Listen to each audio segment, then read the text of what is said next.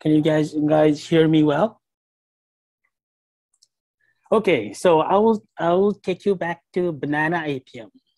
So uh, just talking about banana, I don't know how do I explain banana plant or banana le- banana tree. So anyway, we call whatever we like banana tree or banana plant. So before I start my presentation, I would just like to uh, introduce few terms. Like uh, we have a banana plant or tree, and we have a trunk, main trunk, yeah? So we call it as a pseudostem. It's not main stem, it's a pseudostem. And for leaf, we call as a leaf lamina. And the, then the small portion which joins with which joins leaf lamina to the pseudostem is the petiole.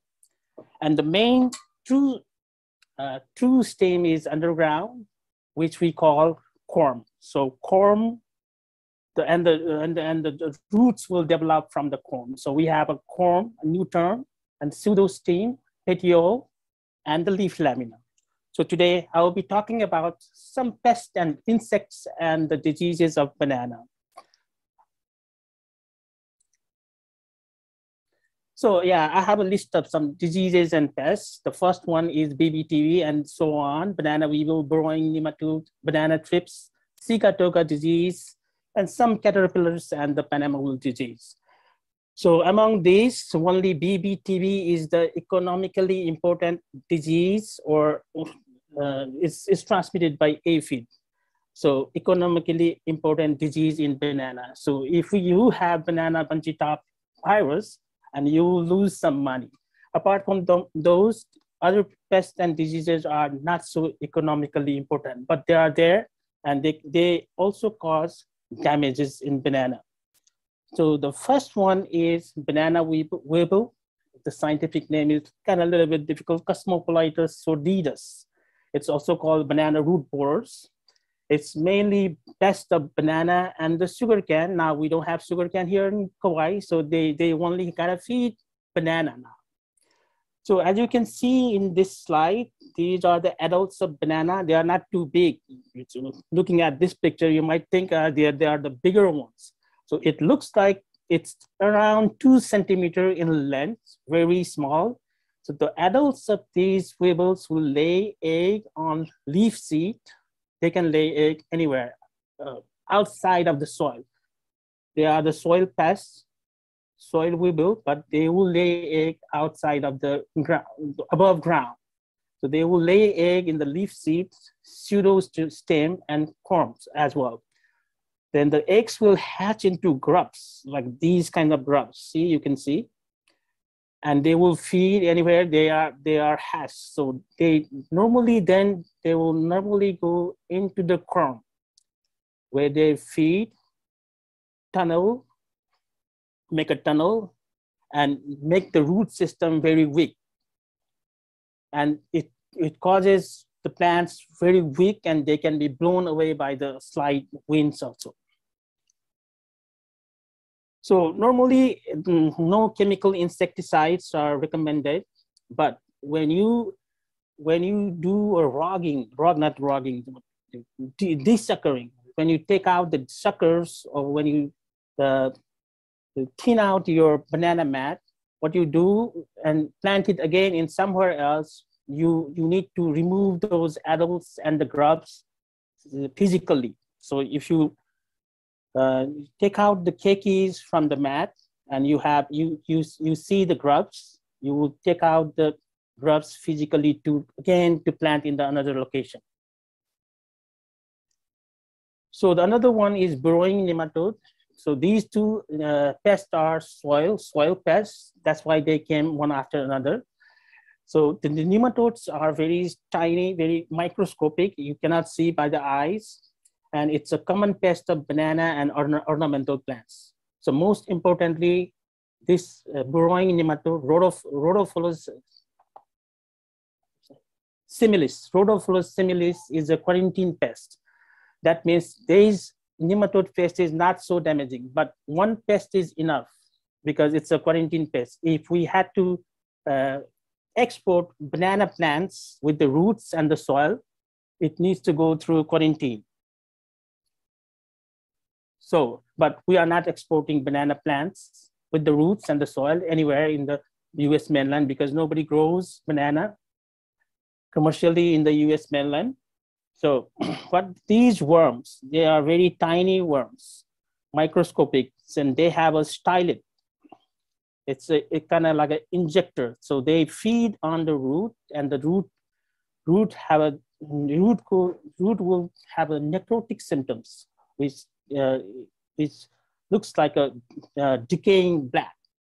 So what it does is it, it, it weakens the root system and for after many years, in three, four, five years, what happens is that the tree will tilt. The root system will be very weak and the tree will tilt in a in like a inclined position. And one time and one day these tree will topple down. It, it went into the went to the to the ground. So it's that's why it's also called toppling disease of banana. So normally for these two pests, uh, banana weevil and banana nematodes, uh, what it was the treatment is hot water treatment. So this is a step of banana macro propagation. Also, is the way of multiplying banana plants there is a micro propagation, which will be tissue culture. Amjad will talk about uh, micro propagation and macro propagation. I think uh, like a, uh, uh, two, three, three, around three, three, four years ago, I think Emily and uh, us gave a workshop on banana micropropagation, how to do banana micropropagation. So, so there is a step of disinfecting banana banana plant so what we do, this is mainly for the, this, the killing banana weevil and nematode. So we dip the banana corm in the hot water for 30 seconds, 30 seconds to kill banana weevil larvae and eggs and the nematode.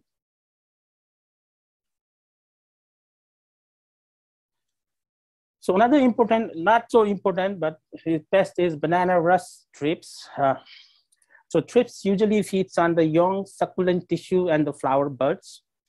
So the, the, you will use the, the, this thrips will find thrips damage on the pseudostem. As you can see, there is a P-shaped nodes in the pseudostem, uh, not pseudostem. This is the petiole, which joins leaf lamina to the pseudostem. You will see V-shaped nodes in the uh, petiole. And as I said, these uh, uh, thrips will feed when the uh, fruits are tiny. So you will see this is the, uh, when the fruits are uh, small, these two banana is touching together, yeah? So the thrips will feed on these outer surface. Then as the fruits will in growth, uh, sorry, increase in size, these will increase in size as well. So the, the another thing with the thrips is thrips has a rasping and sucking mouth part. Rasping means they will scratch the, uh, the outer outer layer of the tissue. So it will be a little bit, uh, uh, what do you call, roughen. That's why it gives the bronzing appearance, as you can see here. And then they will make a puncture, then suck the sap from the tissue. So normally they they will feed on the uh, developing fruit when they are very tiny. As, as the fruit development occurs, it enlarges, these uh, bronzing appearance will also increase. It will increase in size and it appears like this. So this is a thrips, very small, but can be seen by, by naked eye. So this damage looks bad, though it's unmarketable, such fruits are still edible.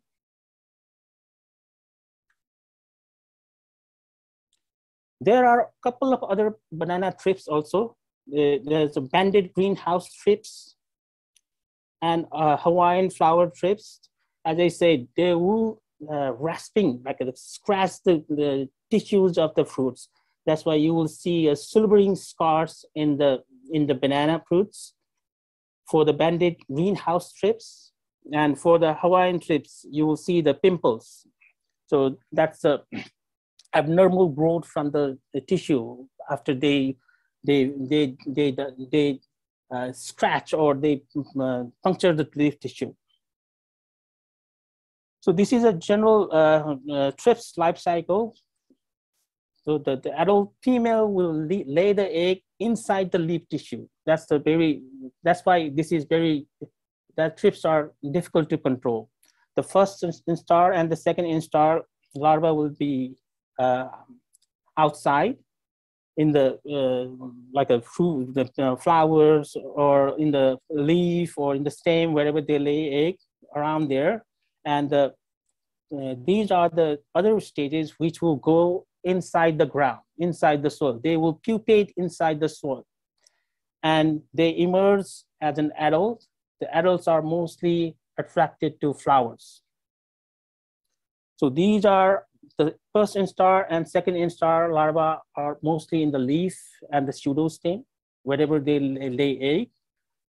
They are, they, these are under the ground, pre-pupae and the pupae, and adults will be mostly in the banana flower. So to control thrips, what normally done in the larger farm is they will bag the uh, banana flower as soon as the banana, the flower initiation occurs, they will bag the banana flower. So they, they have a, there is a testing, uh, there is a research on different colors of uh, uh, plastic bag. So blue plastic bag is found to be better than other colors. So, so after, before bar, uh, bagging, there is a, uh, you can spray with the oil or soap to, to, to kill the thrips, any thrips inside. So you will, you, the, the, the bottom end of the bag is open. So up until the banana fruit is developing, you will keep this open. So after that, these banana flower will drop. The fruits, banana flower or fruits will drop. Then after that, you will cut this flower because this flower, the remaining flower will have thrips. So you need to cut this flower and tie the, tie the banana and tie this plastic bag. So that's how uh, the thrips, where, wherever thrips is the problem, the big problem, they will manage thrips by this, this method. And by bagging banana, banana bunch, the, uh, the development of banana and ripening is also uh, enhanced it, it, the banana will be ripe in a few um, uh, faster than without uh, banana, without bagging. And if the thrips is even more problem, what you do is you will apply granule insecticide in the soil. So I don't think we have a that much pro thrips problem here on Kauai or in Hawaii.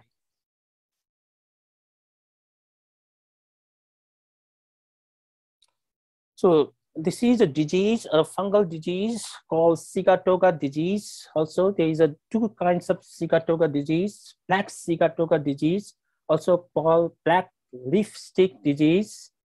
And there is another disease, yellow Sigatoka disease. So black Sigatoka disease is prevalent in the tropical area. And the yellow Sigatoka disease is mostly occur in the cold, cooler, cooler part of the uh, in the in temperate climate, not here. So we have we have black Sigatoka disease here. So as you can see in the black Sigatoka disease, on the other side of the leaf, you will see these chlorotic flecking. Chlorotic means blackened, which is like a dead tissue. Chlorotic fleckings on the underside of the leaf, which develops.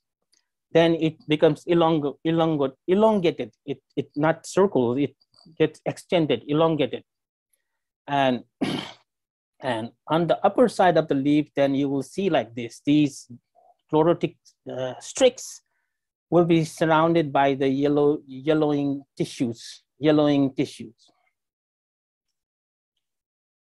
so this, these streaks will increase in size reducing photosynthesis and further providing inoculum so what happens is so these uh, leaves will uh, uh, have a will die, drop down, and these will provide inoculum through the uh, through the splash of rain. Or if these leaves fall down in the ground, the splash of rain through the splash of rain, the fungus fungal inoculum will be uh, again spread to the the upper leaf.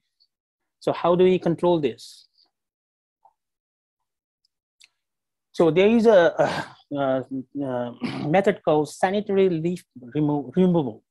So banana plant can uh, eat, uh, so banana can the banana the plant growth and fruiting is good enough when there is a three to three to five leaves is good enough for banana growth and fruiting. So normally, periodically, you cut the leaves, banana leaves. The disease or even undiseased, you just cut the leaves, keep the three to five banana leaves per banana plant. And uh, another um, method is also called mat management, or you do desuckering. So you have a banana plant, there will be uh, coming out from the uh, banana around the banana tree. So you desucker. So normally desuckering is recommended once in a six month. And as soon as the mother plant uh, gives the fruit, banana, banana bunch, you harvest and you cut down the tree, then maintain three to five banana keikis per mat. So in that way, you provide good aeration, aeration uh, in the banana mat and a good use of fertilization and reduce the fungal inoculum so that you, you get uh, black Sigatoka disease, uh, you, you get reduced uh, incidence of black Sigatoka disease. And there are some uh, resistant varieties in the banana. Dwarf Brazilian or apple banana is more tolerant than Cavendish. And some other varieties which has multiple uh, resistant gene perform better than single resistant gene. So it's like Pisang Awak. This is Indonesian variety. I think Mysore, Indian variety, are more resistant to black Sigatoka disease than other varieties. And when we cannot do these cultural control methods, and we, what we do is we will spray fungicide. So there are lots of fungicide labeled for black Sigatoka disease, but I will not talk about fungicide.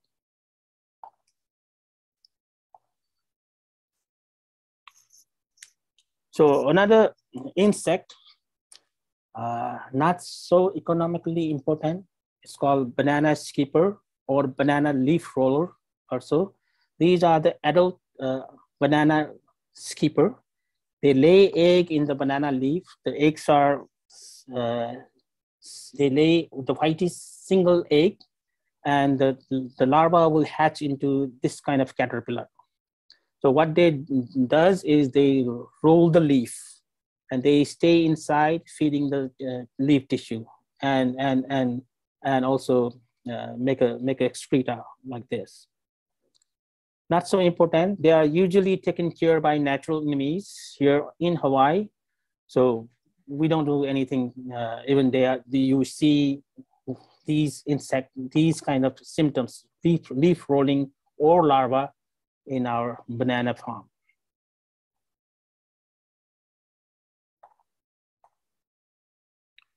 So another important disease in banana is Panama wilt. Uh, it's, a, it's called, its scientific name is Fusarium oxysporum.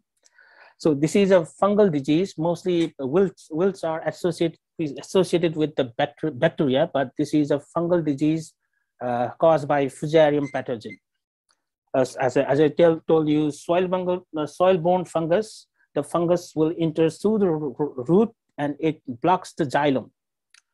Uh, it, it, it infects the xylem. So you will see when you cut the banana trunk, pseudo stem, cross section, you will see like these blackened uh, ring of xylem.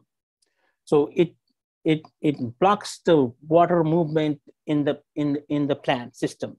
So what you see is there is, there is sudden wilt of banana plant, banana tree, whatever you say.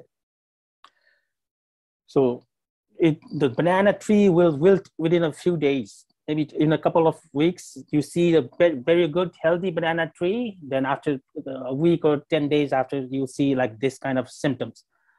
So luckily, we don't have this uh, Fusarium uh, Panama wilt here in Kauai but it has some kind of history. So, so a long time ago, maybe 30 years ago, so this fungus uh, was found in maybe around Panama or in the Panama. That's why it's called Panama wilt. And it destroyed, uh, it's called Gros Michel banana industry in the South America. Gros Michel is the banana variety or variety. It, it, it's wiped out Gros Michel banana industry in South, in South America.